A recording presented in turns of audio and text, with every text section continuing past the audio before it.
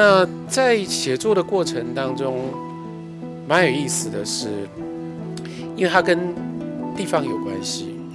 所以地理地方跟地方之间的关系，也是我在写作的过程当中慢慢冒出来的。例如说，像我在书里面写到了去淡水到清水祖师庙。那清水祖师庙当时对我来说是一个在那种乡土，然后民族主义的气氛底下很迷人的地方。可是它就同时引动我回头去想说，为什么在我少年的时候，我很少跟庙发生关系？当然那个时候不知道，可是在那里看到别人怎么样进到庙里面，怎么样拜拜，一方面引动了我。某一种乡土补课，另外一方面就就随着这个地名，随着地方，我坐在那里，然后开始回想，就想到了还有另外一个叫清水的地方，那是台中的清水。回想到我的一个高中的死党，他是台中清水人。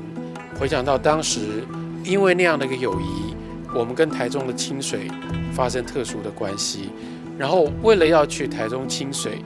在竹南转车中间发生过跟一个面摊老板的对话，那个都是很久很久以前发生，而且是很片段的事情。照理讲，真的就遗忘了。可是从清水祖师庙联想联络到台中清水竹南这一段浮上来了，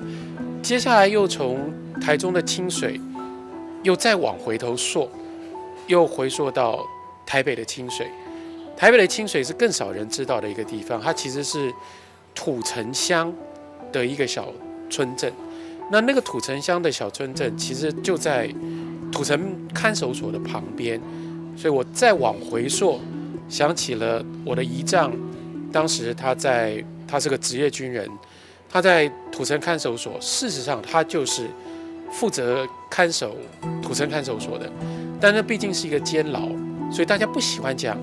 土城看守所，所以他们讲都讲清水清水。那我经常去找我的阿姨到阿姨家里面，我印象当中就是去清水，就是类似这样这种东西是本来看起来在记忆里面它片片段段没有章法，可是随着地理随着地名，它也都联系起来。那这个联系起来，就把这个我生命当中的这样的几个片段。也让他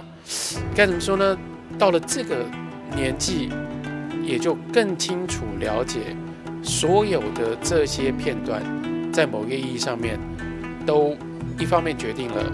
后来我变成一个什么样的人，另外一方面也回头去记录整理了，到底台湾在那个时候是一个什么样的社会，那是一段什么样的时代。